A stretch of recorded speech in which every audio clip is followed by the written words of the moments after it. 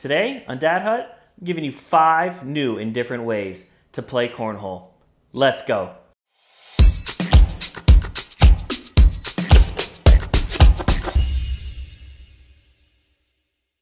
What's up everybody? Welcome back to the channel. Today I'm going to give you five new and different ways that you can play cornhole.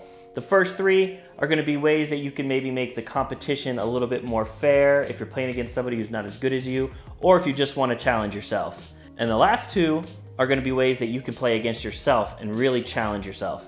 If you haven't already, check out my first cornhole video where I give you five tips to not suck at cornhole. That's a good place to start to just to get your basics and understand the game. And I will link it here and I will link it in the description. So the first game is All or Nothing.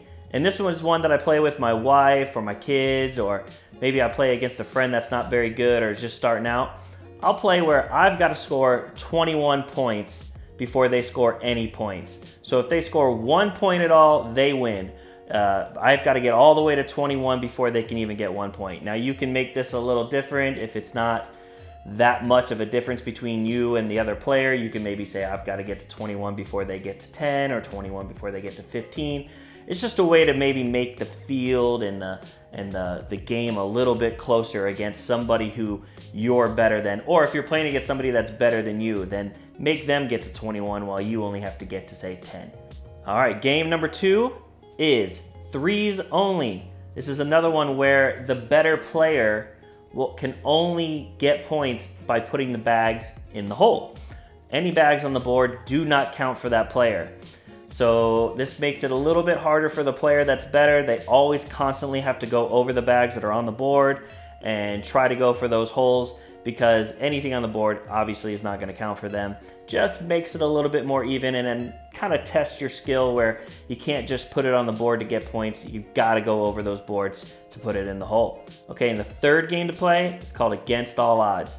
And that's where you give the odds to the weaker player. They throw six bags, you throw two bags. They throw five bags, you throw three bags.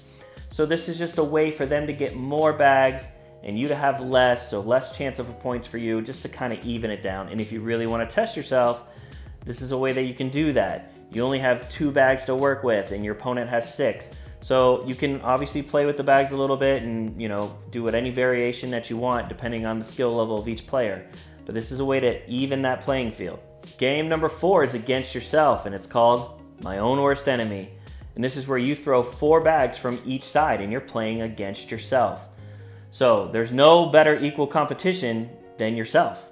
So it also gives you the practice of throwing from each side. So you're not just always playing on the left side of the board or you're playing on your favorite, which is the right side of the board, whatever it might be. So this kind of gets you a little better on each side of the board. And you're playing against yourself, so there's no better competition than yourself. Okay, and the fifth way that I recommend that you can play this game is called 24. And that's where you take all eight bags yourself and you throw them and you try to score 24 points, 24 being the most that you can score. If you sunk all eight bags in the hole, you would have 24 points. So this is a way you can test yourself. Maybe your first throw, you're only getting 10, you only get 10 points, and then you throw again and you, you build up to 12, and you get better and better and better. Obviously, the best that you can do is 24, and maybe you never reach there. That's okay. Every single time you're going, you're trying to beat your personal best. So whether that be in the mid-teens or the low 20s, whatever it is for you, throw all eight bags yourself and add up the points and try to reach that 24, which is a perfect score. All right, so that's it for this week, guys. If you like this video, please give it a thumbs up, hit that like button, and subscribe below for all future Dad Hut videos. We'll see you on the next one.